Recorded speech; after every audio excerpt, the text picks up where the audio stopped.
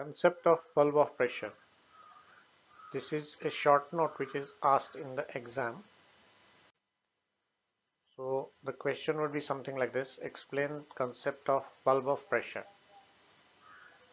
So the first point that you will write is that the loads from the building are transferred to the ground via the foundations.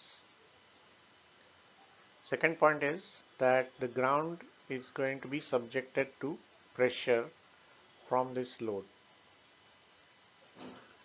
Third point is if we plot points of equal pressure below the foundations then the line joining these points takes the shape of a bulb.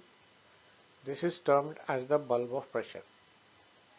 So this is going to be your definition of bulb of pressure. Next point is the bulb of pressure extends 1.5 to 2 times the width of the foundation as shown in the figure.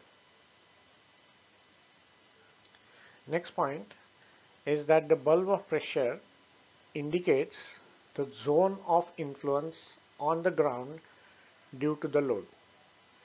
So the bulb of pressure will indicate up to what depth the pressure is going to act on the ground below the footing.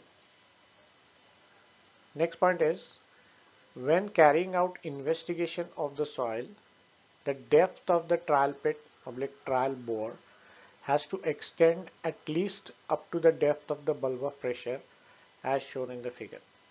So this is going to explain how the soil investigation is carried out or what is the significance of bulb of pressure while carrying out the soil investigation.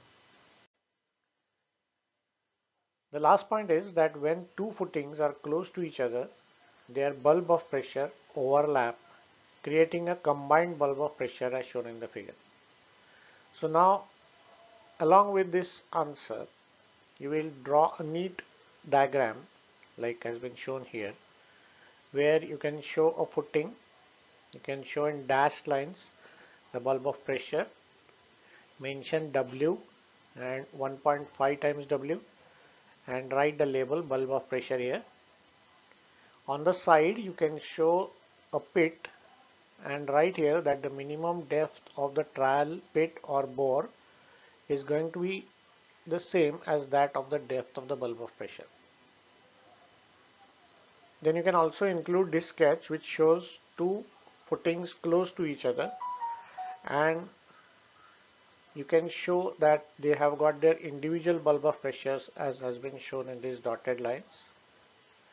And then a dotted line indicating the combined bulb of pressure. So write like that combined bulb of pressure and individual bulb of pressure. Here again mention the width of the two footings combined and the depth of 1.5 W of the combined bulb of pressure so I think that should be enough to answer this question of concept of bulb of pressure.